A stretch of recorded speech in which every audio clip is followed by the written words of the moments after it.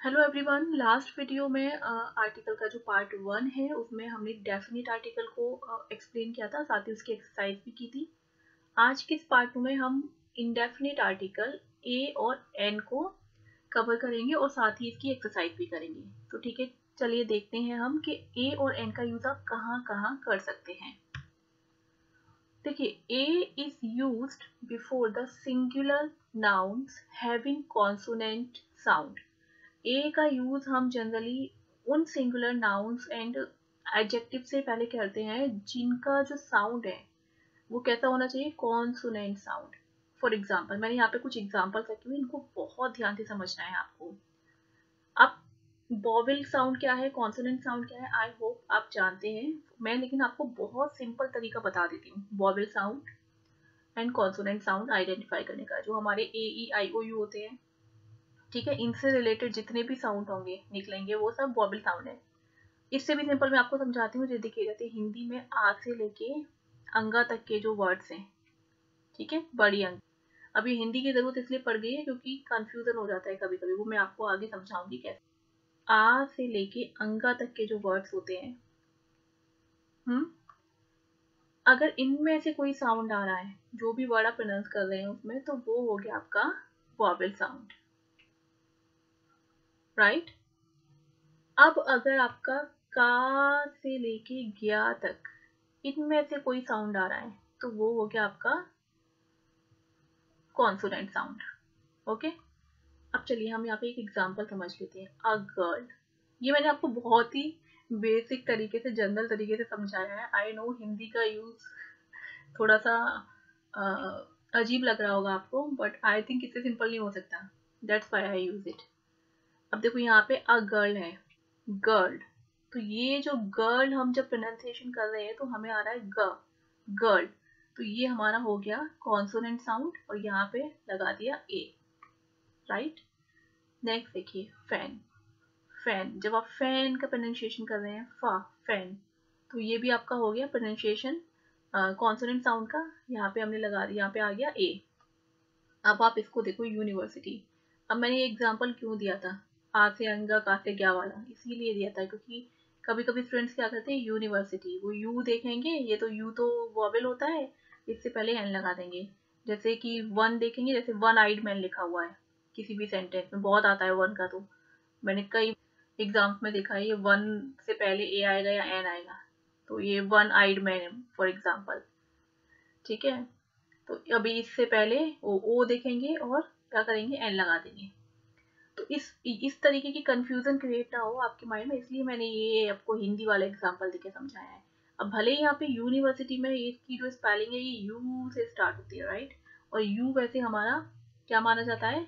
Vowel माना जाता है। बचपन में हमने यही पढ़ा था, लेकिन हम यहाँ पे साउंड की बात कर रहे हैं लेटर की बात नहीं कर रहे हैं। ये डिफरेंस है। We are talking about here sound letter की बात नहीं हो रही लेटर कुछ भी हो सकता है बट हमें साउंड पे ध्वनि क्या निकलती है? साउंड क्या है? उस पर हमें ध्यान देना है। तो अगर हम इसको प्रोनाउंसिएशन करेंगे तो ये निकलेगा यूनिवर्सिटी ठीक है? यूनिवर्सिटी बनेगा। तो यूनिवर्सिटी हमारा किस कैटेगरी में आ गया? इसमें आ गया। तो ये हमारा हो गया कॉन्सोनेंट साउंड इसलिए यहाँ पे आएगा ए आई होप ये आपको ए और एन में वॉबल कॉन्सोनेंट साउंड में तो आप कभी भी कंफ्यूजन नहीं होगा। ठीक है? अब चलो नेक्स्ट देखते हैं। N is use before the singular nouns having vowel sound. मैंने आपको अभी जैसे कि ए समझा दिया। सेम ऐसे ही हमें एन का भी देखना है। एन आउल आउल आउल ये हमारी किस कैटेगरी में आ रहा है? इसमें वॉवल कैटेगरी में आ रहा है। N आ गया। ऑनेस्ट मैन एच तो साइलेंट है। हम इसको प्रोनाउंसिएशन कैसे करेंगे? ऑनेस्ट तो ऑनेस्ट हमारा किस कैटेगरी में आ रहा है? इसमें आ रहा है। तो ये भी वॉवल साउंड हो गया। एन लग गया यहाँ पे। अब ये देखो, ये कंफ्यूजन है थोड़ा सा कंफ्यूज करने वाला है एम पी अब वैसे इन जनरल अगर आपको ये वाला रूल मैंने नहीं समझाया होता मे बी कुछ स्टूडेंट्स क्या करते हैं एम पी मतलब उतना ध्यान नहीं देते साउंड पे एम देखा और क्या करा, ये लगा दिया ए एम पी तो इस तरीके के ही ये जो कंफ्यूजन वाले हैं ना, ये यूनिवर्सिटी और और भी कई वर्ड्स आएँगे आगे मैं बताऊँगी आपको। तो इस तरीके की एम पी हो गया एस पी हो गया इस तरीके के वर्ड्स वाले सेंटेंस बहुत आते हैं। तो बच्चे कंफ्यूज होते हैं और ए का एन कर देते हैं एन का ए कर देते हैं। तो अभी यहाँ पे साउंड आ रहा है एम पी हम कैसे बोल रहे हैं इसको? एम पी ठीक है? तो अभी ये हमारा किस कैटेगरी में आ रहा है? हमारा ये आ रहा है वॉवल कैटेगरी में। तो यहाँ पे लगा दिया एन आई होप ये रूल आपको बहुत अच्छे से क्लियर हो गया होगा। ठीक है? अब चलते हैं नेक्स्ट रूल की तरफ़। A an is use before some phrases अब ये तो फिक्स है। कुछ फ्रेजेस हैं, जिनसे पहले हम ए और एन का यूज़ करते हैं like a team of a pair of an army of an assembly of exercise करेंगे तो मैं एग्ज़ाम्पल के थ्रू आपको और अच्छे से क्लियर कर दूँगी। नेक्स्ट है a is use with some phrases those express number and quantity उन फ्रेजेस के साथ भी हम ए और एन का यूज़ करते हैं। स्पेशली ए का यूज़ करते हैं जो कि क्या आ, दिखाते हैं नंबर्स दिखाते हैं और क्वांटिटी दिखाते हैं। अभी यहाँ पे देखो लॉट ऑफ़ लॉट ऑफ़ क्या बता रहा है? क्वांटिटी बता रहा है। तो यहाँ पे भी ए का यूज़ होगा। नंबर ऑफ़ किसी भी चीज़ की संख्या बताई जा रही है नंबर बताया जा रहा है। ए का यूज़ हो गया। Great deal of a great deal of का मतलब होता है अ लार्ज अमाउंट ठीक है? तो यहाँ पे भी क्वांटिटी बताई जा रही है। Next an is used before an adjective that describes a quality अगर कोई भी uh, ऐसा एडजेक्टिव जो किसी सिंगुलर नाउन की क्वालिटी बता रहा है तो वहाँ पे भी हम ए और एन का यूज़ करेंगे उससे पहले। बिकॉज़ uh, अगर नाउन सिंगुलर है तो फिर हम एडजेक्टिव से पहले क्या करते हैं? ए या एन का यूज़ करेंगे जैसे कि Picasso was an exceptional artist artist यहाँ पे सिंगुलर है. पिकासो के लिए यूज़ किया जा रहा है. तो यहाँ पे भी हम एडजेक्टिव से पहले क्या करेंगे? अकॉर्डिंग टू द साउंड जो भी साउंड आया है क्योंकि आ, ये हमें ध्यान रखना पड़ेगा एडजेक्टिव में कि साउंड जो है वो क्या है? हमें ए लगाना है या एन लगाना है? एक्सेप्शन आया है तो हमने एन लगा दिया. तो जो हम यहाँ पे गुड लिखा होता. Picasso was a good artist तो यहाँ पे आ जाता है a next when a proper noun is used as a common noun जब हम किसी प्रॉपर नाउन को as a common noun use करते हैं तो भी हम इनडेफिनेट uh, आर्टिकल का यूज़ कर सकते हैं। डेफिनेट आर्टिकल का दा का भी यूज़ करते हैं। मैंने आपको एग्जांपल भी बताया था जब कंपैरिजन किया जाता है लास्ट पार्ट वन में। ठीक है तो यहाँ पे क्या कहा जा रहा है? ही इज़ अ कालीदास वह कालीदास जैसा विद्वान है। ये जो ही है इसे कालीदास बताया जा रहा है। तो यहाँ पे कालिदास को यूज़ किया है एज अ कॉमन नाउन तो यहाँ इसलिए ए का यूज़ हो जाएगा। When two adjectives modify a singular noun, जब दो एडजेक्टिव किसी सिंगुलर नाउन के लिए यूज़ किए हुए हों a an comes with first one अब देखो, ये पहले आप सेंटेंस देखो। I have a black and white cow अब यहाँ पे ये काउ हो गई हमारी नाउन ठीक है? अब काउ कैसी है? ब्लैक है और वाइट है। तो ये जो दोनों एडजेक्टिव्स हैं, ये किसके लिए यूज़ किए गए हैं? ये केवल इसी नाउन के लिए यूज़ किए गए हैं, काउ के लिए यूज़ किए गए हैं। दूसरी बात ये है कि आप कैसे समझेंगे कि ये की है यहाँ पे अगर हमने ए यहाँ पे लगा दिया, ठीक है? ब्लैक से पहले और व्हाइट से पहले नहीं लगाया है तो इसका मतलब क्या हो जाता है? I have a black and white cow means जो काउ है, ये जो काउ की बात की जा रही है ये आधी काली है, आधी सफ़ेद है means black and white mix है। अभी अगर मैं ऐसा करूँ कि यहाँ पे भी मैं ए लगा दूँ, अब इसका सेंस बदल जाएगा। अब इसका मतलब होगा कि मेरे पास एक काली और एक सफ़ेद गाय है। अब इसके पास दो दो काव हो गए he has two cows now अभी तक क्या था? ये ए लगने से कितना बड़ा डिफरेंस आ गया। अगर कोई भी नाउन से पहले दो या तीन एडजेक्टिव यूज़ किए गए हैं, लेकिन जो आर्टिकल है, वो सिर्फ़ फ़र्स्ट एडजेक्टिव से पहले लगा हुआ है। तो इसका मतलब ये है कि ये जो बाकी के एडजेक्टिव भी हैं, ये उसी नाउन के लिए प्रयोग किए जा रहे हैं और ये सिंगुलर है, एक है वन इन नंबर लेकिन अगर ऐसा है कि किसी भी सेंटेंस में एक नाउन है और दो एडजेक्टिव यूज़ किए गए हैं, और दोनों एडजेक्टिव से पहले आपने आर्टिकल लगा दिया तो वहाँ पे क्या होगा कि ये दोनों अलग अलग चीज़ें हो जाएँगी। अब यहाँ पे अगर मैंने वाइट से पहले भी आर्टिकल लगा दिया तो इसका मतलब हो जाएगा, मेरे पास मतलब एक काव है जो पूरी ब्लैक है और जो दूसरी काव है वो पूरी वाइट है। आई होप ये क्लियर हो गया होगा आपको।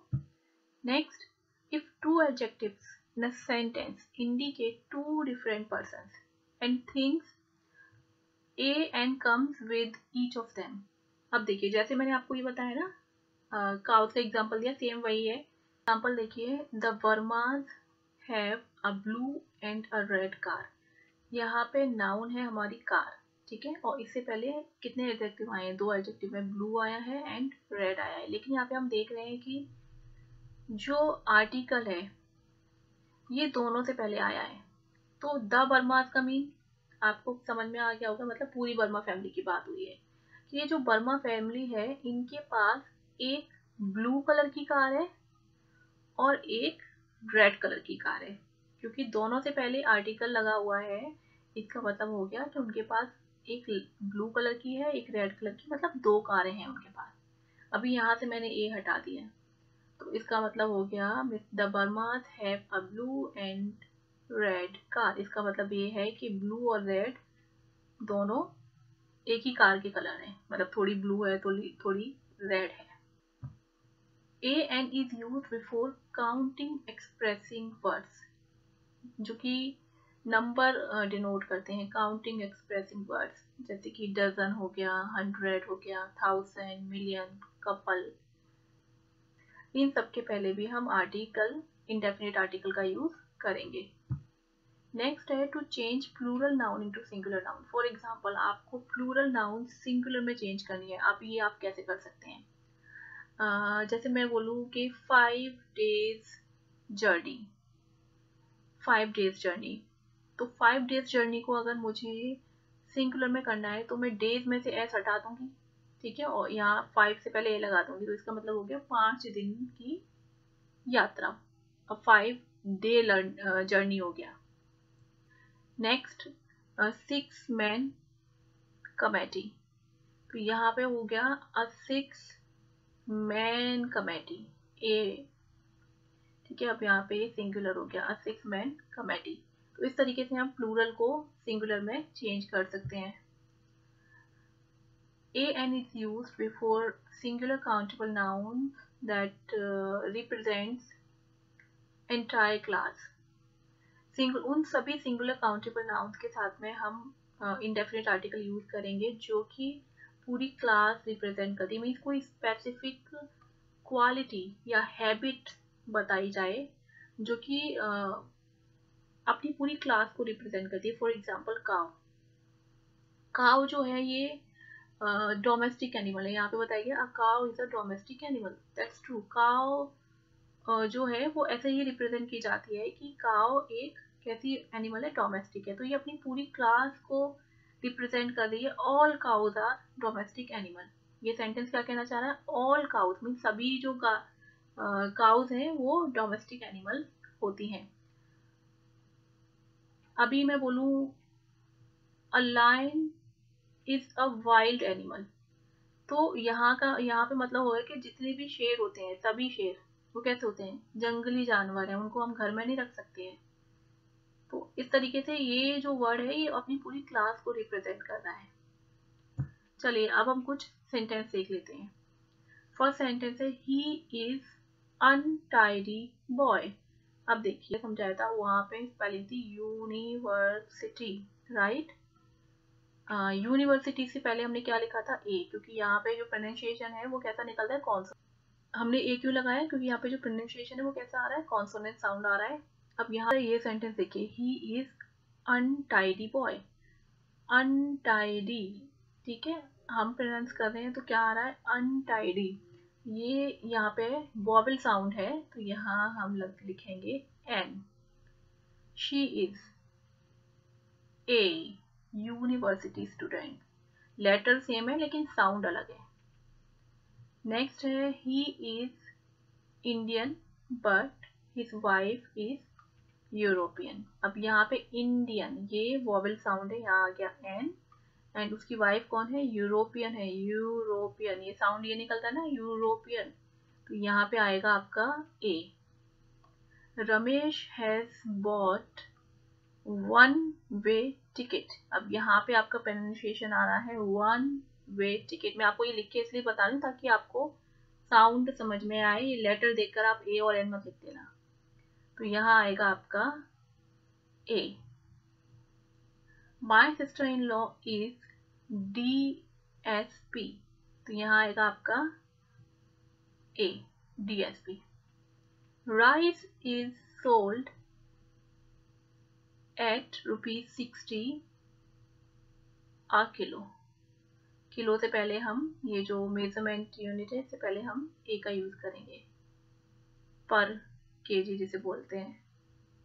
He earns rupees twenty thousand a month वो पर मंथ कमाता है twenty thousand Kamal wants to speak to you अब यहाँ पे वैसे तो ये सेंटेंस अगर हम केवल देखें Kamal wants to speak to you ये करेक्ट है कि ये वो कम, मतलब कमल है जिसको कि आप जानते हैं, वो तुमसे बात करना चाहता है। अब हमने यहाँ पे कमल से पहले लिख दिया ए तो इसका मतलब क्या हो गया? इसका मतलब हो गया कि जो कमल आपके घर आया है ऑफ़िस में आया है, कहीं भी, मान लीजिए, उस कमल को आप नहीं जानते हैं। फॉर एग्ज़ाम्पल जैसे आपके घर कोई आता है, आप उसे नहीं जानते। आप उसे पूछते हैं, जी, आपका नाम बताइए। वो आपको नाम बताएँगे। उन्होंने बोला कि, मेरा नाम कमल है। आप उस कमल को नहीं जानते, आप अंदर गए और आपने अपने पापा से कहा कि कोई कमल आपसे बात करना चाहते हैं। अब ये जो कोई कमल आपसे बात करना चाहते हैं, वो ये सेंटेंस है। आप यहाँ लगाएँगे ए जब आप नहीं जानेंगे उन कमल को और कहेंगे कोई कमल आपसे बात करना चाहते हैं तो आएगा ए कमल। अगर आप उन कमल को पहले से जानते हैं तो आप अपने पापा के पास जाएँगे और क्या बोलेंगे? कमल अंकल आपसे बात करना चाहते हैं या कमल आपसे बात करना चाहता है। इसका मतलब आप उस कमल को जानते हैं। Next thing of beauty is joy for ever ये प्रोवर्ब है सबको पता है। A thing of beauty is the joy for ever इसका मतलब यहाँ पे है कि प्रोवर्ब वगैरह भी आपको पता होने चाहिए क्योंकि उसमें हमेशा ग्रामर के हिसाब से ए एंड द इन सब का यूज़ नहीं होता है या प्रपोजिशंस भी कभी कभी आ जाती हैं। तो वो सीधे सीधे स्टेटमेंट दे देते हैं, आपको पता है। तो आप उसमें करेक्ट आर्टिकल जो है वो राइट कर देंगे। नेक्स्ट है लेट अस गो फॉर अब यहाँ क्या आएगा? दा आएगा, आ आएगा, क्या आएगा? अभी तो आपको पता है इंडेफिनिट पढ़ रहे हैं। तो ए एन में से आप टिक करेंगे तो ए लगा देंगे। अब क्यों आएगा ए इसलिए आएगा क्योंकि यहाँ पे जो वॉक है, ये एक क्या है? नाउन है।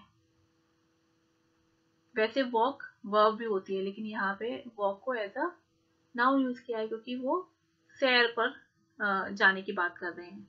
Let's go for a walk activity नहीं है ये। तो इसलिए एक्शन वर्ब नहीं कह सकते। ये नाउन है यहाँ पे। नेक्स्ट है इंग्लिश इज़ इंटरनेशनल लैंग्वेज क्या आएगा? एन इंग्लिश मैंने आपको पहले भी बताया था लैंग्वेज से पहले हम कोई भी आर्टिकल का यूज़ नहीं करते हैं तो यहाँ पे कुछ नहीं आएगा। English is an international language doctor Desai is M B B S यहाँ क्या आएगा? साउंड पे ध्यान दीजिए। एम बी बी एस ठीक है? एम से स्टार्ट हो रहा है एम यहाँ आएगा। An M B B S man is model ये क्या है? ये भी प्रोवर्ब भी है। मैन इज़ मॉडल एक यूनिवर्सल फैक्ट भी है कि इंसान नश्वर है, उसे मरना ही है। यहाँ कुछ नहीं आएगा। ठीक है? नेक्स्ट है ये जो प्रोवर्ब्स वगैरह होती है ना, उनसे पहले जैसी होती हैं, वैसी ही रहेंगी। नेक्स्ट है what beautiful painting it is painting singular है, इससे पहले एडजेक्टिव आया है राइट right? अब ये क्योंकि सिंगुलर है पेंटिंग तो यहाँ पे हम ए लगा देंगे। Surabhi is teacher and motivational speaker Surabhi is a teacher and motivational speaker यहाँ पे डबल ए मत लगा देना तो यहाँ पे दो सुरभि हो जाएँगे। ठीक है? एक ही आएगा, क्योंकि ये टीचर और मोटिवेशनल स्पीकर एक ही पर्सन है, वो है Surabhi couple of hours will be enough for the work तो यहाँ मैंने आपको बताया था, ये काउंटिंग नंबर जहाँ पे शो होता है तो यहाँ पे आ जाएगा a couple of hours next he has bought ten and half kilo rice यहाँ पे आएगा a half seven year plan is launched by the government तो यहाँ आएगा a a seven year plan singular है ये ही wants to have drink now यहाँ drink as a verb use नहीं की जा रही है, यहाँ पे drink as a noun use की जा रही है. ड्रिंक मतलब वो कुछ पीना चाहता है, कुछ विस्की वगैरह पीना चाहता है वाइन पीना चाहता है, क्या पीना चाहता है वॉट तो he wants to have a drink यहाँ पे ये नाउन है drink fox is a clever animal अब यहाँ पे फॉक्स जो है, ये क्या रिप्रेजेंट करी अपनी पूरी क्लास को रिप्रेजेंट कर रही है. तो यहाँ आएगा आ. क्योंकि क्या बोला जाता है? जितनी भी लोमड़ियाँ ऐसा नहीं है कि एक लोमड़ी को बोला जाए.